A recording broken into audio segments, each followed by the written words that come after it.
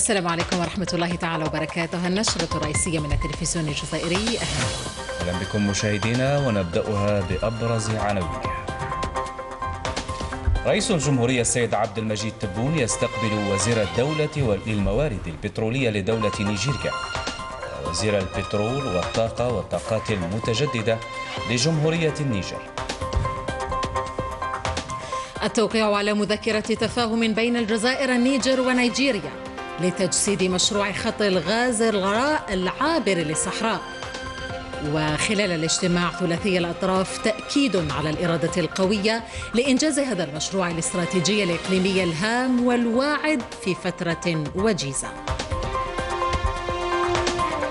الفريق أول سعيد شنقريح يؤكد أن الجيش الوطني الشعبي يواصل العمل تحت قيادة السيد رئيس الجمهورية على تأمين جميع أسباب النجاح للطاقات والكفاءات الناشئة.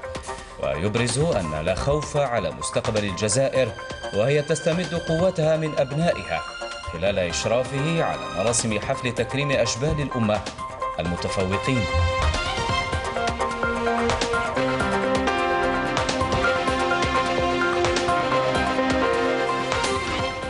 النسيج الصناعي ببرج بوعريريج يكسب رهان التصدير خارج قطاع المحروقات بفاتورة فاقت ستة ملايين دولار في ستة أشهر. وفي النشرة نموذج ناجح لصناعة مكابح السيارات من تيزي وزو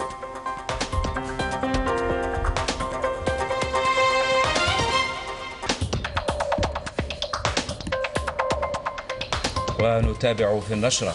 سهرات روسيكادا الصيفية لمة عائلية بنكهة بحرية.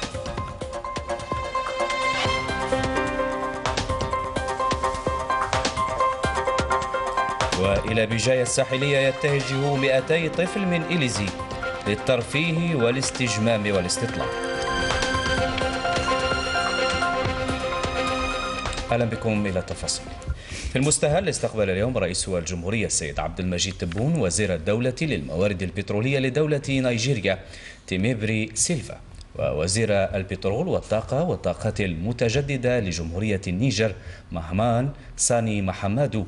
اللقاء الذي جرى بمقر رئاسة الجمهورية حضره مدير ديوان رئاسة الجمهورية عبد العزيز خلاف ووزير الطاقة والمناجم محمد عرقاب.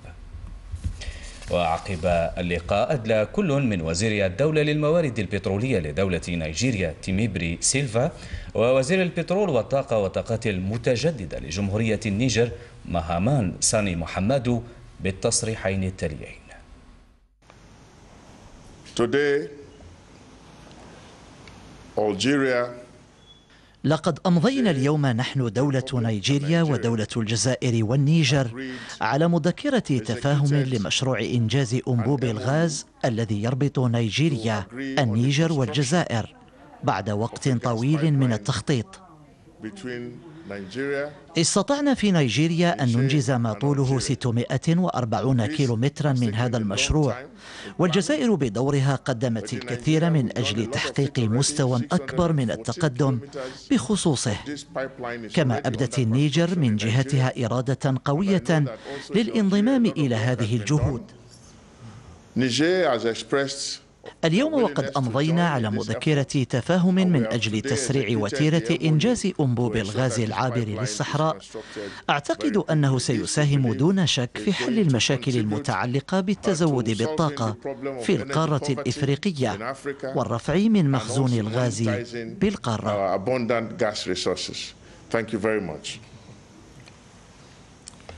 Merci. لقد تم استقبالنا من طرف السيد رئيس الجمهورية. قدمنا له عرضا مفصلا حول اجتماع اليوم لوزراء الطاقة لكل من الجزائر نيجيريا والنيجر. Et euh, cette rencontre هذا الاجتماع هو الثالث من نوعه لهذه السنة حول مشروع إنجاز أنبوب الغاز العابر للصحراء. هي إذن المرة الثالثة التي نلتقي فيها بعد اجتماع نيامي في شهر فبراير الماضي واجتماع أبوجا شهر جوان.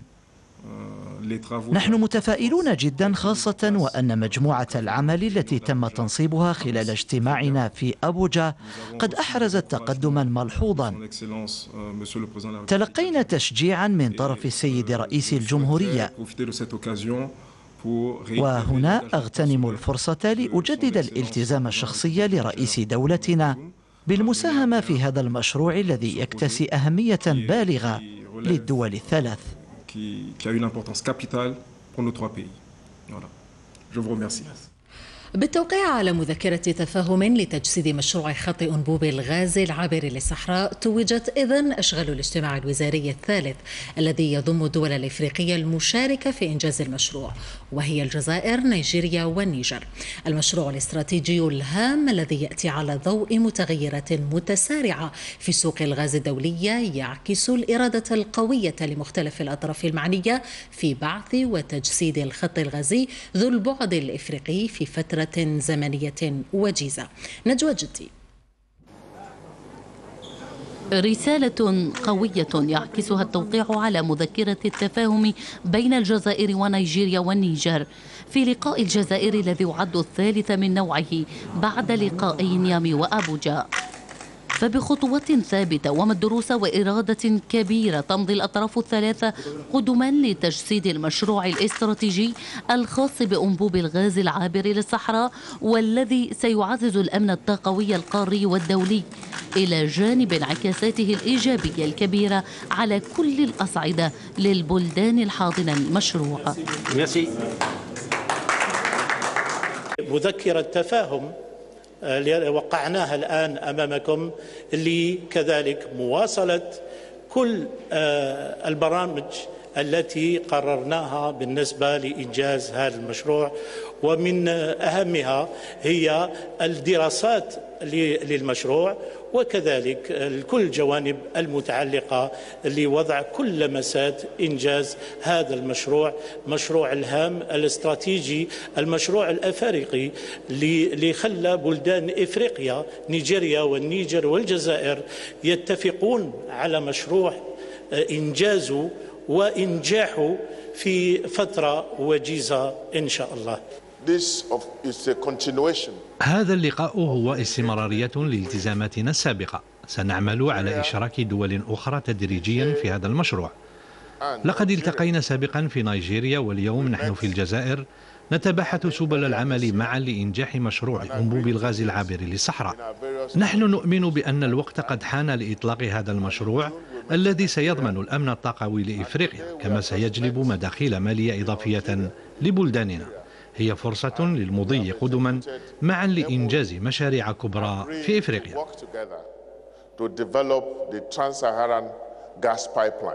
Nous nous retrouvons cette année pour la troisième fois ici à Alger. نلتقي هذه السنة للمرة الثالثة في الجزائر من أجل التشاور حول مشروع الغاز العابر للصحراء. التقينا قبلا في نيامي فيفري الفارط وأبوجا في جوان. أستطيع القول أننا جد متفائلون لمستوى تقدم المشروع. المشروع جد هام لنا لما يحمله من أهمية اقتصادية كبرى. المشروع يؤكد أن الدول الإفريقية باستطاعتها العمل معا لإنجاز مشاريع استراتيجية تتماشى الأهداف المسطرة من طرف الاتحاد الإفريقي. هي فرصة لإثبات أنه عندما نكثف جهودنا معا نستطيع إنجاز مشاريع استراتيجية كهذا المشروع الذي من شأنه تحقيق الأمن الطاقوي لدولنا. لقاء الجزائر الذي دام لساعات طويلة في اجتماع مغلق. كان بحضور فريق العمل المكون من خبراء البلدان الثلاثة الذين عكفوا على دراسة التقدم المحرز في تنفيذ خارطة الطريق المعتمدة بدقة وتحيينها. ما سيفتح المجال للبحث عن شركاء لتمويل وإنجاز هذا المشروع الواعد الذي يربط الدول الثلاث على طول أربعة آلاف كيلومتر. مذكرة التفاهم جاءت ثمرة عمل دؤوب ومتواصل لمجموعة من الخبراء من الدول الثلاث. وبالإضافة إلى البعد الإفريقي في تحقيق تنمية مدمجة متكاملة. يعتبر الخبراء مشروع خط أنبوب الغاز العابر للصحراء أهم الخطوات في مسار مضي الجزائر نحو التموقع قطبا عالميا لتصدير الطاقة.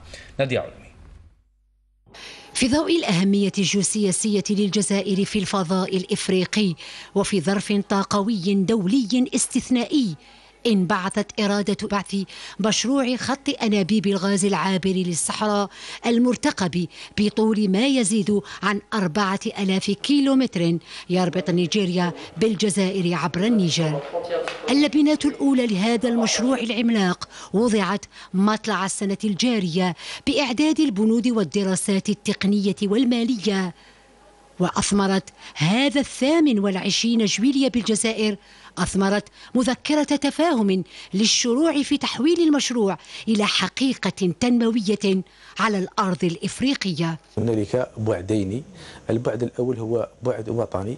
والذي يهدف إلى تكريس وتجسيد الخطة الاستراتيجية للسيد رئيس الجمهورية من أجل جعل الجزائر أحد الأقطاب العالمية في مجال الطاقة ولكن بشتى أنواعها وذلك لعشرات السنوات القادمة بإذن الله.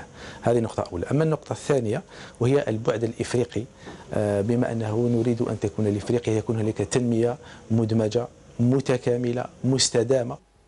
الجزائر الشريك الموثوق في مجال الطاقة تعد حجر الارتكاز في هذا المشروع الاستراتيجي بفضل الخبرة التي تمتلكها سوناتراك في مجال إنشاء خطوط أنابيب غاز واسعة النطاق وعابرة للحدود. هناك ثلاث اعتبارات أساسية يمكن أن تعطي آه، هذا المشروع نجاح. أولا المكانة الجزائرية وخبرتها في الأنابيب آه، سواء الأنابيب البحرية التي تمده إسبانيا وأصبحت آه، شريك استراتيجي موثوق بالنسبة بالنسبة للاتحاد الأوروبي عبر إيطاليا. شراكات متعددة. الجانب الثاني طبعا أن أن الطريق في حد ذاته يمر بثلاث دول نيجيريا النيجر الجزائر. وبالتالي هو أقل تكلفة 4000 كيلومتر لكن حتى الآن أصبح محل اهتمام المستثمرين سواء مؤسسات بريتون أو الاتحاد الأوروبي ذاته.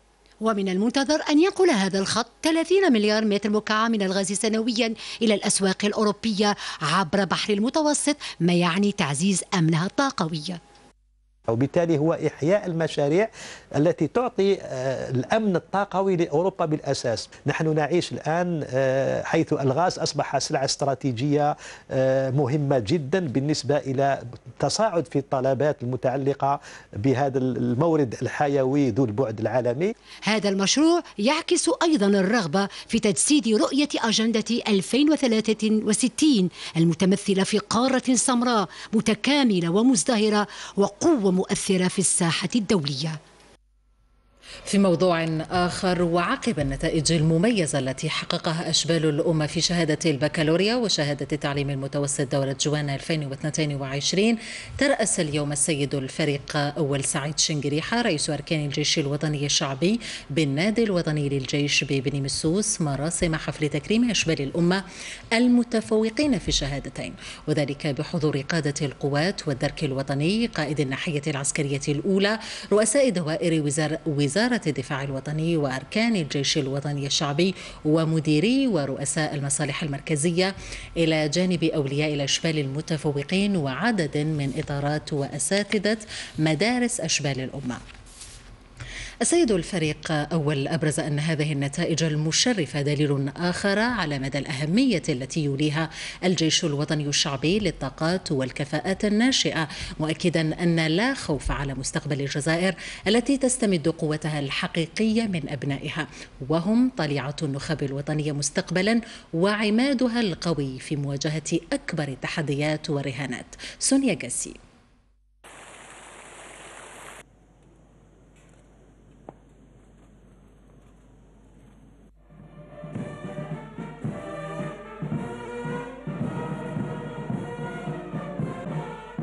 التكريم شمل الأشبال المتفوقين في شهادة البكالوريا وشهادة التعليم المتوسط على مستوى جميع مدارس أشبال الأمة التي فاقت نسبة النجاح بها 98.17% بالنسبة لشهادة البكالوريا و100% بالنسبة لشهادة التعليم المتوسط. بهذه المناسبة ألقى السيد الفريق أول كلمة توجيهية تابعها إطارات وأفراد الجيش الوطني الشعبي عبر قيادات القوات ووحدات النواحي العسكرية الست عن طريق تقنية التحاضر المرئي عن بعد. حرص من خلالها على تقديم تهانيه الخالصة لكل الشبلات والأشبال الناجحين في هاتين الشهادتين مؤكدا أن هذه النتائج المشرفة دليل آخر على ما يوليه الجيش الوطني الشعبي للطاقات والكفاءات الناشئة ومشددا على أنه لا خوف على مستقبل بلادنا التي لا طالما استمدت وتستمد قوتها الحقيقية من أبنائها الذين هم ثروتها الحقيقية. إن هذه النتائج المشرفة المحققة أيتها الشبلات أيها الأشبال والتي أثلجت بحق صدورنا هي دليل آخر على ما يوليه الجيش الوطني الشعبي للطاقات والكفاءات الناشئة التي نعول عليها كثيرا في المستقبل لتكون في طليعة النخبة الوطنية التي سيكون لها شرف حمل مشعل خدمة الجزائر والدفاع عنها. سلاحها في ذلك العلم والمعرفة والعمل المخلص والواعي. إن ما أراه اليوم أمامي من نخب شابة خرجت من عمق شعبنا يملأها الاعتزاز بالانتماء إلى الجزائر وتتملكها مشاعر الفخر وحب الوطن يجعلنا مطمئنين إلى أن القادم أفضل بإذن الله تعالى وإلى أنه لا خوف على مستقبل بلادنا التي لا طالما استمدت وستستمد قوتها الحقيقية من أبنائها الذين هم ثروتها الحقيقية وعمادها القوي في مواجهة أكبر التحديات وأعظم الرهانات. السيد الفريق أول أكد أن الجيش الوطني الشعبي سيواصل العمل على تأمين كل أسباب النجاح لأبناء الجزائر وعلى توفير الأجواء المواتية لمواصلة مشوار نماء وازدهار بلادنا ورخاء شعبنا الأبي. وفي هذا الإطار تمثل النتائج الإيجابية المحققة في نهاية كل سنة تكوينية والارتقاء المحسوس للمستويات الدراسية التي يحققها أشبال الأمة في شهادتي التعليم المتوسط والبكالوريا مظهرا آخر من المظاهر الدالة والشاهدة على الأشواط التطورية المقطوعة وعلى نجاحات المقاربة التكوينية المعتمدة على أكثر من صعيد. وعلى ذكر الأشواط التطورية المقطوعة فلا بد من التأكيد في هذا المقام على أن الجيش الوطني الشعبي سليل جيش التحرير الوطني وبالموازاة مع القيام بمهامه الدستورية الموكلة له بكل تفان وإخلاص للدفاع على سيادة بلادنا ووحدتها الترابية. سيبقى يعمل تحت قيادة السيد رئيس الجمهورية القائد الأعلى للقوات المسلحة وزير الدفاع الوطني على تأمين كل أسباب النجاح لأبناء الجزائر وعلى توفير الأجواء المواتية لمواصلة مشوار نمائي وازدهار بلادنا ورخاء شعبنا الأبي ليقوم السيد الفريق أول على إثر ذلك بتكريم الشبلات والأشبال المتفوقين الأوائل حيث سلم لهم شهادات تكريمية وهدايا.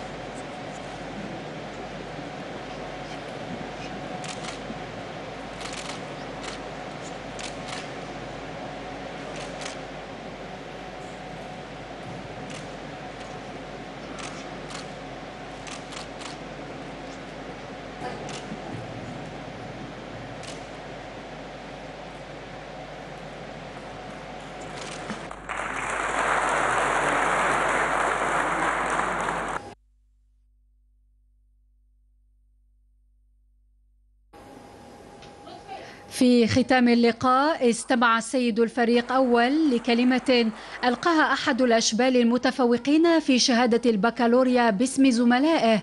كما تابع بعض تدخلات أفراد الجيش الوطني الشعبي عبر تقنية التحاضر المرئي عن بعد قبل أن يأخذ صورة تذكارية مع الأشبال المكرمين.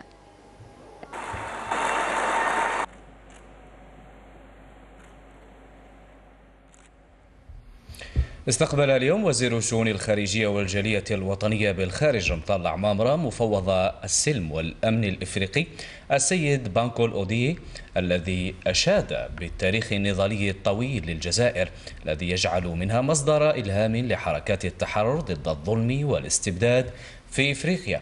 مؤكدا أن مؤتمر مالابو الأخير تبنى بقوة مقاربة رئيس الجمهورية السيد عبد المجيد تبون في مكافحة الإرهاب داعيا للاستلهام من تجربة الجزائر الرائدة في هذا المجال.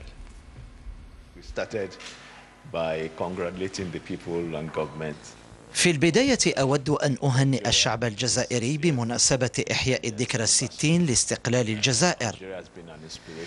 الجزائر لطالما كانت مصدر إلهام لحركات التحرر ضد الظلم والاستبداد في إفريقيا. ركزنا في محادثاتنا على مسألة مكافحة الإرهاب وتجربة الجزائر الرائدة في مكافحة الظاهرة.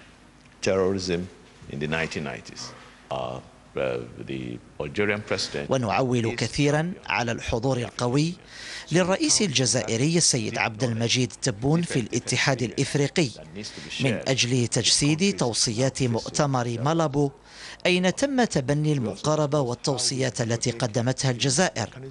ونأمل مشاركة هذه التجربة مع البلدان الإفريقية التي تواجه هذه الظاهرة. ومن الجيد أن نؤكد دائما أن الجزائر تبقى دوما عضوا فعالا في الاتحاد الإفريقي. That Algeria remains a very strategic active member state. وصل اليوم جثمان الفقيد سفير الجزائر لدى رومانيا مناد حبك إلى مطار هواري بومدين الدولي الذي وفته المنية الثلاثاء الماضي عن عمر ناهز 71 عاما. وحضر مراسم وصول جثمان الراحل بالمطار وزير الشؤون الخارجية والجالية الوطنية بالخارج رمضان العمامرة وعدد من المسؤولين وعائلة الفقيد وزملائه. إنا لله وإنا إليه راجعون. رحم الله الفقيد. وفي الحركية الاقتصادية الآن وفي وثبة إنتاجية تمكنت ولاية برج بوعريريج من تحقيق قيمة 6 ملايين و300 ألف دولار من عائدات الصادرات خارج قطاع المحروقات خلال السداسي الأول من السنة الجارية. ولقطاع الصناعة الدور الأبرز في بلوغ هذه القيمة المعتبرة. المتابعة مع نور الدين بن عبسة. ألو السلام عليكم. تفضل نحن في الخدمة. الترويج للمنتوج وكسب رضا الزبون مبتغى يسعى إليه مصنع المواد الكهرومنزلية ببرج بوعريريش والمنافسة تفرض منطقها والبحث عن الأسواق خارج الوطن بات مجسدا. بدينا بعملية تصدير الدول العربية وأول دولة قمنا معها بعملية التصدير كانت الدولة الشقيقة تونس مثل في غسالة الملابس وطبخة غازية هناك اتصالات أخرى في من دول إفريقية؟ وهناك متعامل في دولة الكاميرون؟ نحن على اتصالات حثيثة معه. التصدير طال كذلك مواد التنظيف والتطهير فمنتوج الكلور ومشتقاته الذي يستجيب لمعايير المرجعية الصناعية. يعرف طريقه إلى تونس أسبوعيا. مادة الكنور اللي يستخدم في آه، إنتاج مواد التنظيف ومعالجة المياه. آه، بون رانا هنا نغطيو نسبة 80% من آه، السوق المحلي. ورانا قايمين ثاني بعملية التصدير مثل تونس اللي نغطيو لها أسبوعيا قيمة 60 طن إلى 100 طن. وعندنا اتصالات مع بلدان إفريقية وأوروبية. آه، رانا إن شاء الله في الطريق الصحيح. الصناعة البلاستيكية تمكنت من الولوج إلى أسواق الخليج وحازت على حصص من السوق هناك وهذه المواد المغلفة ستنقل بعد أيام قليلة نحو الإمارات. نحن بصدد عملية تصدير نحو الإمارات العربية المتحدة وهذه ليست لأول مرة تعتبر حوالي ثمن ثمن عملية تصدير في آه، مدة زمن معينة قصيرة تعتبر سنة حوالي. عندنا عملية تصدير للشهر الجاي إن شاء الله لسلطنة عمان آه، درنا عملية واحدة لقطر. وفي عملية تصدير الشهر القادم إن شاء الله لفرنسا. ولاية برج بعريريج حققت خلال السنة الماضية سنة 2021 16 مليون دولار. وفي هذه السنة خلال السداسي الأول من جونفي إلى غاية 30 جوان لسنة 2022 حققنا 6 مليون و300 ألف دولار. هناك آه، آه، تصدير إلى دول أوروبية على غرار بلجيكا وإيطاليا ودول أفريقية على غرار مصر ليبيا تونس النيجر السنغال وغيرها وحتى في أمريكا آه، فيما يخص كندا وغيرها من الدول. هناك أكثر من 260 متعامل اقتصادي ينتج أكثر من 631 آه، منتوج.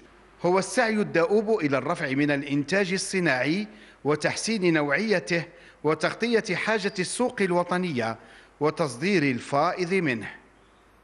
وقبل التصدير يراهن المستثمرون المحليون على تغطية السوق المحلية. نقف في النشرة عند أحد النماذج الناجحة في الاستثمار الصناعي من ولاية تيزي وزو حيث تبرز تجربة صناعة مكابح السيارات. الأخضر كعوان. أربع سنوات منذ افتتاح أبوابه تمكن خلالها المصنع الخاص والمتخصص في صناعة صفائح فرامل المركبات الخفيفة والثقيلة. من فرض علامته التجارية في السوق الوطنية فاتحا بذلك أكثر من 100 منصب شغل لشباب منطقة ميرا.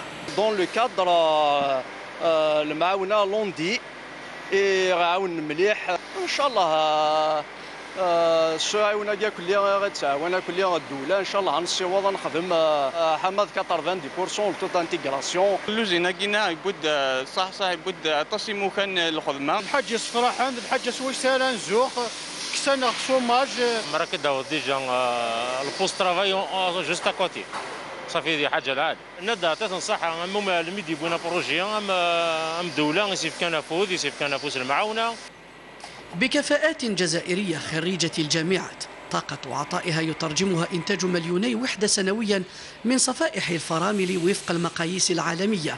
دعائمه التكوين والمرافقة. كذا كي نخدم فرونت نيفو 58 ولاية ماشي كي كان سيكتور ونسبيرون بيان اير نروح انت أو نيفو انترناسيونال ساكي نخدم طاس لي كاليتي البلاكات فران نخدم السلور نخدم ليجي حنا رانا نديروا المجهود تاعنا باش يكون الإنتاج اللي يخرج منا يرضي يرضي الزبون. هو إذا نموذج لمشاريع من شأنها تحريك عجلة الاقتصاد نحو اكتفاء محلي لمنتوج أصلي يعكس استراتيجية الدولة في دعم وتطوير قطاع الاستثمار الصناعي ببلادنا.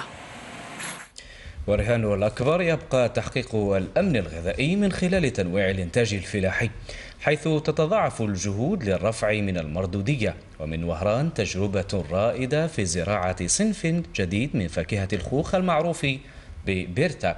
بدت بوادر نجاحها بعدما استحدثه فلاحون من منطقة بوسفر ببلدية عين الترك على أن تعمم لاحقا. خير بطل نحن هنا بمنطقة بوسفر بلدية عين الترك المعروفة بالفلاحة الجبلية.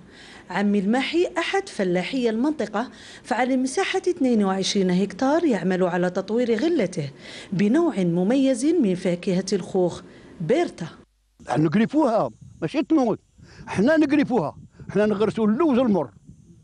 ومن بعد اللوز تقعد عامين ثلاثة عاد نقرفوها. دوك نوري لك القريفة راه مقريفية غير بالمطر تاع ربي. وما كاش لانغري. إحنا ما نديروش l'engrais ما نديروش produits chimiques طبيعي. كي يجي الخريف نبقوا نشتوا فيها تحت الشجرة. نبقوا نشتوا فيها. هذيك تقدب لنا حتى العام الجاي. علاش تقدب؟ تقدب واحد الظل. وتقدب البرود. والشجرة تاكل تاكل من الحجره هذاك اللي وريتها لك يأتي جني هذا النوع من الفاكهة مع نهاية شهر جويليا. أين يسعى هذا الفلاح المحب لأرضه للرفع من مردودها وتعليم زراعتها لأبنائه وأحفاده؟ رانا في هذه الأرض ملي حلينا عينينا parce que مع شيباني ومع الشجرة خوتي نحاولوا نحافظوا على هذه الشجرة. parce que هذه ال qualité هذه راها راها parce que ولي في الانقراض. وشفنا مع الكبار اللي كانوا عندنا الكبار الله يرحمهم. شفنا هاد البيرطة كيفاش يخدموها كيفاش يلقموها كيفاش كيفاش تعيش الشجرة تاعها على حسب المنطقة. هذه البيرطة جابوها وراكم تشوفوا الناس هنا راهم ي... راهم ينتجوا يحاولوا باش يحافظوا عليها. عمي الماحي نموذج من المستثمرين في مجال إنتاج الفواكه. هدفهم تطوير هذه الشعبة والرفع من مردودها المحلي. ولأنهم رفعوا تحدي الوفرة والجودة استقرت أسعار الخضر والفواكه في أسواق الجملة والتجزئة ما لاقى ارتياح المواطن واستحسانه العينة من العاصمة في رصد ميداني لكريم الشمط بين الوفرة والجودة تختصر معادلة تحديد أسعار الخضر والفواكه عبر حلقة بيع متسلسلة. فمن الفلاح إلى بائع الجملة يتضح المشهد. آه نجيبها. من الفلاح. تجيبها بالسعر؟ إيه بالسعر ونبيعها لهم شحال تزيد لها في الجملة؟ 100 دولار 1000 راك. كل نهار كيفاه البصل راه ديال 3000 وكان الأسعار تاع الخضرة هبطت شوية. الباذنجان كاين 2000 كاين طوماطيش 4000 كاين على كل سوم أختي هنايا كاين الأسعار راهي مليحة. الطرشي راه ندير من 4 ونص ل 5000 إيه نجيبوها من سطيف حتى لهنايا. من الفلاح حتى لهنايا. نجيبها من 4 ونص نبيعوا بها هنايا 5 5 ونص. نديروا 100 دورو. في في الواد دايرة من 4000 حتى ل 6500 تبيعها في بوكرا هنا هذه دايرها 4 ونص. كيما النكتارين كانت غالية 32 40 تبيع حتى ب 10 000 15 000 13 000 سمعتي؟ ولا عندنا بشوية مثلا اظن ندوز 13 حتى ل 20 22000 الدلة راه من 1500 حتى ل 4000 دلة شباب الله يبارك. تجيبوه من الفلاح ولا انت انت فلاح؟ انت كل شيء؟ لا لا مانيش أنا فلاح. يجيبوا الفلاح نروحوا للفلاح حنا نجيبوه. ولاباس راه كاين وفره آه الحمد لله. كاين الحمد لله. ماهيش غالية هذه السمعة. ما هيش غالية الله الله يبارك. القليل راه ياكل. ونحن بالسوق التقينا بتجار التجزئة المتسوقين. مليح السوق هذه مليح. fort راهي fort. بتاخي دير trois mille حتى 5000 نشريها بال trois mille حتى 5000 هنا.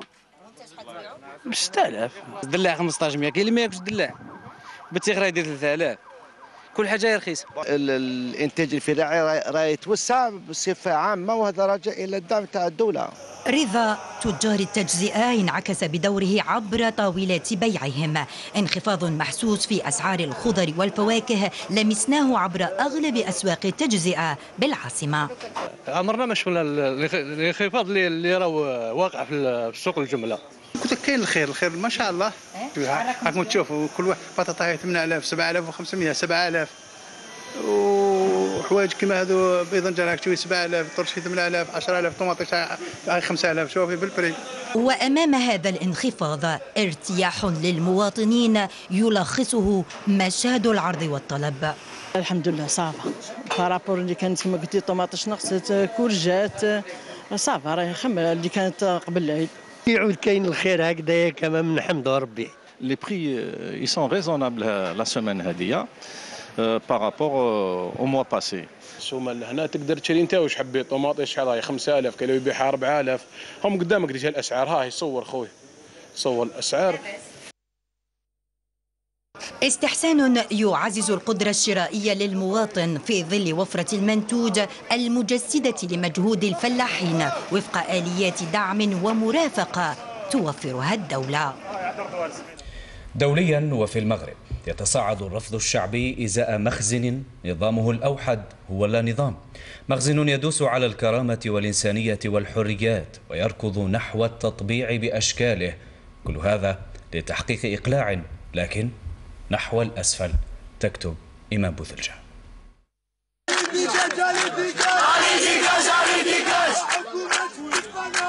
يتصاعد السخط الشعبي إزاء نظام المخزن الذي عجز عن حل المشاكل اليومية المنغصة لمعيشة المواطن المغربي. وأمعن في الاعتداء على الحريات والهرولة التطبيعية مع الكيان الصهيوني. في حين يواصل رئيس حكومة المخزن تجاهله للرأي العام وللشعب المغربي الذي بلغ حد غيابه عن جلسة المساءلة الدورية في البرلمان مما وضع الشارع المغربي في حالة من الغضب والتذمر. راح شردونا راه أنا براسي ما لقيت من ناكل أنا وبنتي. كندي ديك 400 ولا 600 ريال يلا دابا ما بقيتش خدمت ما والو. شكون اللي غيعطيني؟ أنا غيعطيوني أخويا مشيت نطلب. حنايا. حنا شنو نديرو باش ناكلو ولادنا؟ باش ناكلو حنا؟ باش! ولادنا باش ناكلو! ما خلاو لنا حتى حل هاد الناس. عندي جوج بنات. والمرأة عندها السكر وكوليستيرول وتشري الدواء. ورانا ضايعة خويا رانا ندعس ووسط هذه الظروف إدانة واسعة للجريمة التطبيعية الجديدة واستنكار بأشد العبارات للاتفاق التطبيعي واعتبار الاتفاق مع مؤسسة الاحتلال الصهيوني تبرئة للاحتلال الصهيوني والمستوطنين من جرائم الإعدام والاغتيالات الميدانية المرتكبة في حق الفلسطينيين العزل. على إثر المرافقة والتغطية الاحترافية التي أبانت عنها أسرة الصحافة والإعلام بكافة فئاتها خلال تغطية ألعاب البحر الأبيض المتوسط بوهران بكل دقة ومهنية. تقدم وزير الاتصال محمد بوسليماني بالشكر والعرفان للأسرة الإعلامية والصحافة الوطنية العامة والخاصة نظير إسهامها الفعال في إنجاح الحدث الرياضي وحرصها على إبراز الصورة الحقيقية للجزائر وما حققته من إنجازات في مختلف الميادين. سليماني أكد أن هذه الصحافة التي رفعت تحديات كبيرة ستسهم بكل جدارة في مرافقة وإنجاح القمة العربية المقبلة. وفي الرياضة الآن وفي ألعاب القوى عاد مساء اليوم المنتخب الوطني الجزائري بعد مشاركته في البطولة العالمية بمدينة يوغين بالولايات المتحدة الأمريكية. محققا ميدالية فضية أحرزها العداء جمال سجادي أو جمال سجاتي في نهائي سباق 800 متر سمحت للجزائر بدخول الجدول العام للميداليات في حين حل زميله سليمان مولى في المركز الخامس في السباق نفسه. أه، تحصلنا على ميدالية فضية بفضل المجهودات أه، اللي قمنا بها أنا والمدرب تاعي و... ونشكر المؤسسة العسكرية اللي واقفه معنا ونشكر شيخ فريزيدو يعني اللي وقف معنا. رانا حاضرين بقوة. ربحنا بطولة إفريقية صديق مولا سليمان وفضيه والذهبية والفضية اللي كانت من نصيبي ونصيب حتحات ياسين في ألعاب بحر الأرض المتوسط.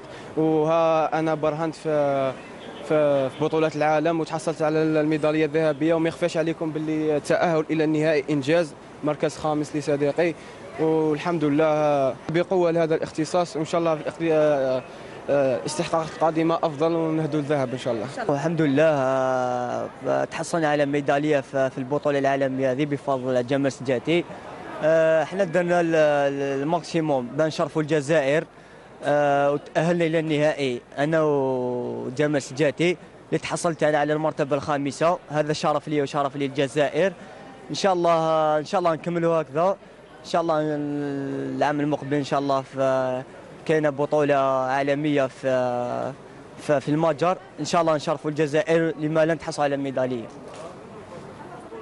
إن شاء الله. في أخبار الطقس ومع الارتفاع المسجل في درجات الحرارة يكثف المختصون من حملات التحسيس والتوعية بمخاطر التعرض المباشر لأشعة الشمس خاصة في المناطق الجنوبية. العين من النعامة مع من العرش. هذه الأيام موجة حر شديدة تجتاح مختلف مناطق الوطن خصوصا الجنوبية منها حيث فاقت الأربعين درجة مئوية. هي فترة يسميها أجدادنا منذ القدم بالصمايم والمرتبطة بتقويم المناخ السنوي.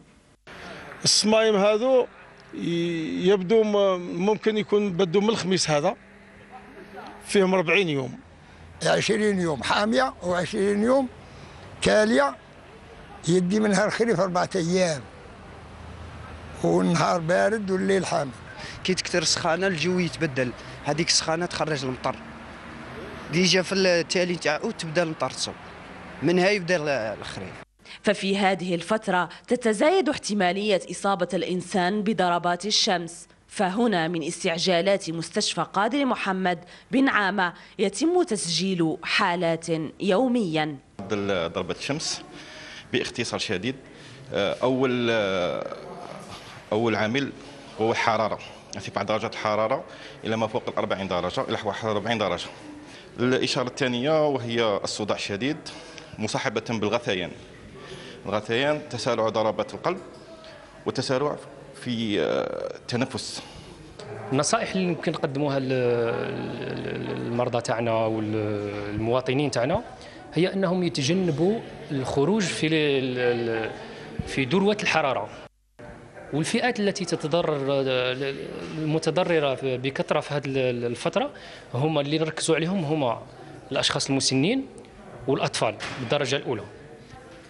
هادو ننصحوهم باش يشربوا الماء بزاف يكثروا من شرب الماء. إلا خرج برا يدير يدير كاسكيطه ولا يدير مظل مظل ولا ايفيتي باش تكون مباشرة هذيك أشعة الشمس تضربه.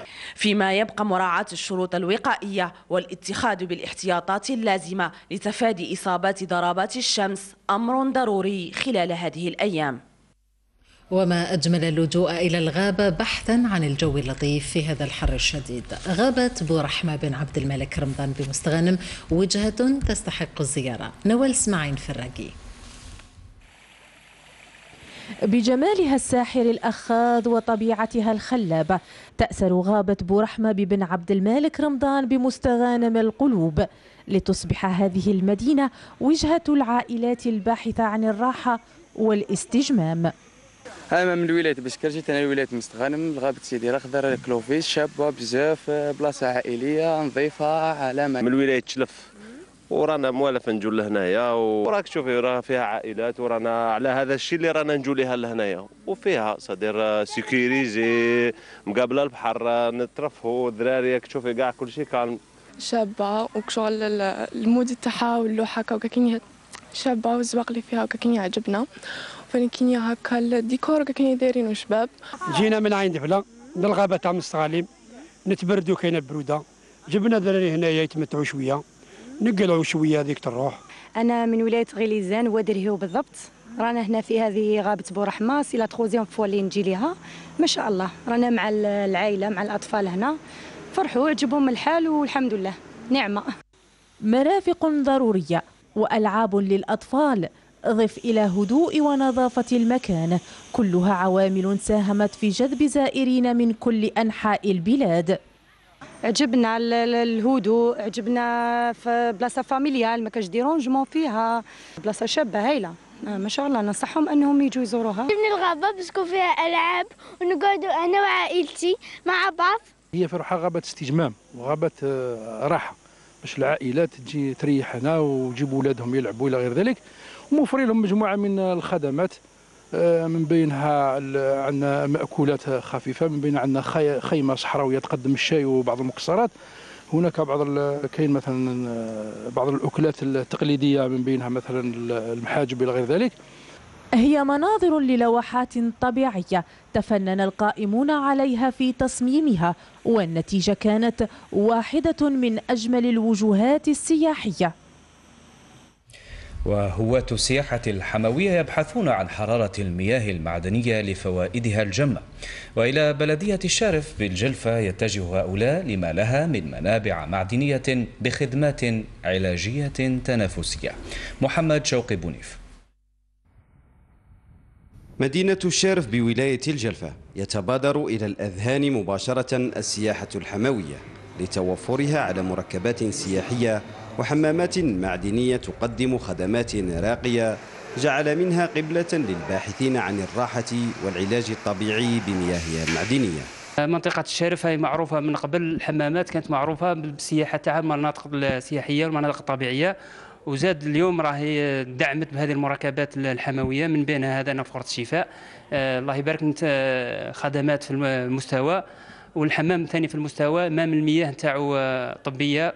وفي المستوى جئنا لهنا من أجل الشفاء والراحة والاسترخاء. بالنسبة للمنطقة هذا هو البحر تاعنا أنا باح جيت على العشرة تاع الليل قلت ما نلقاش وين بات الله يبارك خير وبركه النعمه تاع الجلفة خاصة الجلفة وخاصة الوسط عامة الوسط. هذه الله يبارك شفاء لكل داء. خصائص المياه اللي عندنا اللي تستاخر بها الحمام تاعنا. يتوفر على الكلور والكبريت بنسبة كبيرة. من خصائص العلاج يعالج داء المفاصل روماتيزم الأمراض الجلدية بأنواعها. خدمات فندقية بأسعار تنافسية لقضاء أوقات تجمع ما بين الراحة الاستجمام والعلاج بطرق جد حديثة وبطاقة استيعاب كبيرة. الفندق يتسع لأكثر من 40 سرير. عندنا les bungalows عندنا 20 bungalow ثاني آه يتسع إلى 100 140 فرد. سرير. و les bungalows عندنا فيهم le service de cuisine وكل الخدمات. زرنا الحمام الحمام الحموي هذا. وما شاء الله يعني خدمات جيدة أو ترقى حتى لدرجه ممتازة. في هذا اليوم الأول وما زلنا على حسب المعلومات اللي رانا نشوفوا فيها ولاحظناها ما شاء الله. الله يبارك. في ولايتنا. بالنسبة للمكسب ليس لإبراهيم النووي والله بل للجميع. فالسياحة الحمويه ببلادنا عموما وبالأخص ببلدية الشارف بولاية الجلفة جعل منها الوجهة المفضلة للعائلات لقضاء عطلة الصيف في أحسن الظروف نظرا لما تكتنزه من مؤهلات طبيعية ومركبات حمويه التي ستجعل منها قطبا سياحيا بامتياز. وبحثا عن الاستجمام بشواطئ بجاية انطلق من ولاية إليزي الفوج الثالث لأطفال المخيم الصيفي المتكون من 200 طفل لقضاء عطلة الصيف في جو من الترفيه والاستطلاع. محمد علي إغيبا ما يقارب المائتين طفلا تم نقلهم كدفعة ثالثة من ولاية إليزي إلى المخيم الصيفي بني كسيلا بولاية بجاية على متن طائرتين لشركة الخطوط الجوية الجزائرية. رانا رايحين في الطيارة خير من اللي رايحين في الكار ورانا رايحين بجاء نستمتعوا. نشكر مدير مدير المخيم الصيفي؟ وإن شاء الله نكونوا بخير. أنا رايحين الجزائر دركا رايحين رايحين نصيفوا. نشكر مديرية الشباب والرياضة على هذه المبادرة اللي داروها الأطفال الولاية والحمد لله وين جاتهم لوكازيو باش يبعتوهم لمناطق الشمال. الرحلة سخرت لها جميع الإمكانيات المادية والبشرية ضمانا لراحة الأبناء المصطافين. انطلقت اليوم إن شاء الله إن شاء الله الدفعه الثالثة للمخيم الصيفي لأبناء ولاية إليزي حيث استفادت الولاية من حصة مقدرة ب 200 طفل إضافة إلى 15 المرافق المتوجهين إن شاء الله إلى ولاية بجاية. وفرنا جميع الإمكانيات خاصة بالنسبة لنقل أبنائنا من منازلهم إلى المطار. وفي الأخير هذا الشيء يدل على الاهتمام الكبير للدولة الجزائرية خاصة لأبناء الجنوب.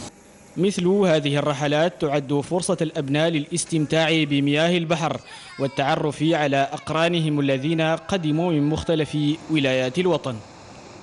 وميزة الصيف في الشرق الجزائري سهرات روسيكادا. حيث تكون لخروج العائلات نكهة خاصة. نتابع مع محمد زمولي. أجواء خاصة هي ميزة سهرات المدينة الساحلية الجميلة سكيكدا حيث تتوجه العائلات للسمر والظفر بلحظات من المتعة بميناء النزهة لشاطئ إسطورة. الميناء هذا من بكري إحنا من بكري نجيو هنا بعد هذا هو البلاصة تاعنا نجيو نسهروا الصيف كامل نعقبوها هنا. السكيكدا تعجبنا خاطر هي تاع فامي وزيد قريبة قسمطينه بزاف. تسمى مش بعيدة علينا. فيها الأمن فيها النظام. تقدر تدور مع العائلة. كاين أمور تقدمت بزاف كاين أمور مليحة كاين نشوفوا مثلا كاين la sécurité آه، كاين نشاطات بزاف. les gens tranquilles aucun أجواء كانت مليحة مع العائلة وعقبنا صيف مليحة وإن شاء الله نعقبوها دائما هكا. برنامج ثقافي خاص سطر للعائلات من خلال إحياء مهرجانات متنوعة عبر الشواطئ الكبرى التي تميز موسم الاصطياف لسكيكدا. من بين هذه النقاط فيه قافلة ثقافية متنوعة تاريخية تتضمن كل من ورشات تكوينية في خاصة بالأطفال آه، معرض تاريخي إلى جانب المكتبة المتنقلة إلى جانب تنظيم سهرات فنية آه، لشباب شباب فنانين ولاية تسكيكدا. بالنسبة للتوقعات لصائفة 2022 سوف تكون إن شاء الله 10 ملايين. مصطاف بعد ثلاث سنوات رجعنا لهذا لهذا النشاط هذه الحيوية هذه. راكم تشوفوا اليوم جمهور كبير كبير حضر آه، بون إحنا نفرحوا كفنانين طبعا إحنا نفرحوا كفنانين لهذه الأجواء هذه اللي تخصنا. وطبعا آه، حتى الجمهور مسكين راهو متعطش متعطش كثير لهذه الاحتفاليات. سكيكدا الولاية المضيافة التي تستقبل العائلات من كل حدب وصوب. تستقبلهم بالاحتفاء لتبقى إحدى أروع القبلات السياحية بالجزائر. ونختم مشاهدينا بتقصي الأجواء الفنية والجماهيرية التي يصنعها مهرجان تيمجاد الدولي بعد غياب دام سنتين بسبب الجائحة الصحية وقبيل حفل الانطلاق نربط الاتصال مباشرة من باتنا حيث زميل زكريا تهامي. زكريا ضعنا في المشهد الثقافي هناك طبعا بعد الأجواء البهيجة التي صنعها الاستعراض الفني البهيج بشوارع المدينة أمس.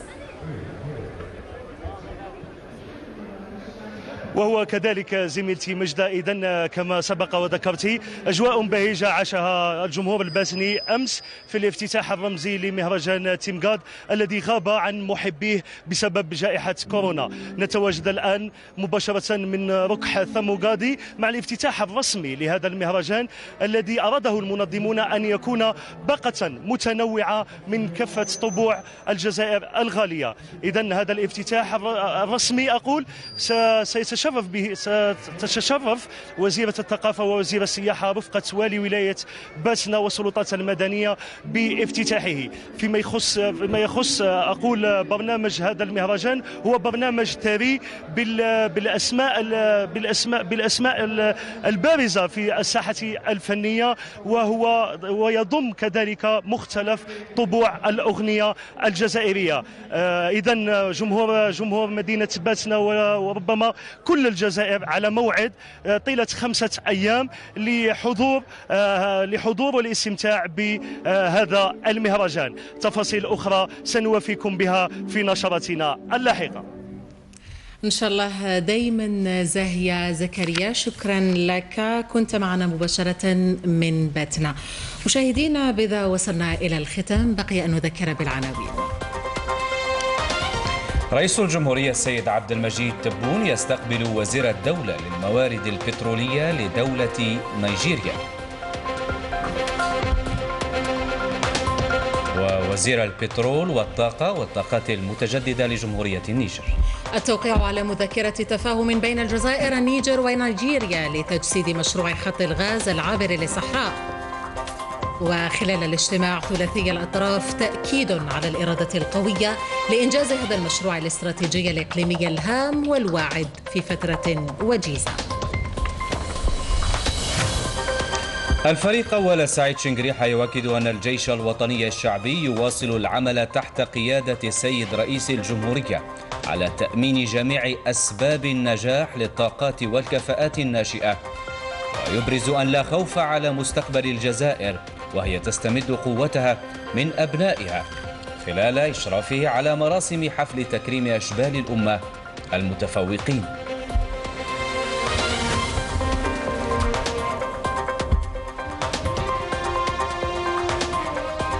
النسيج الصناعي ببرج بوعريريج يكسب رهان التصدير خارج قطاع المحروقات بفاتورة فاقت 6 ملايين دولار في ستة أشهر.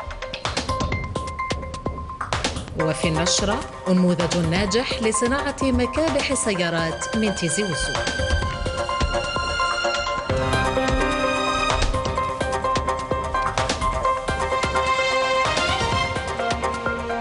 وفي النشرة تابعنا سهرة روسيكادا الصيفية لمة عائلية بنكهة بحرية.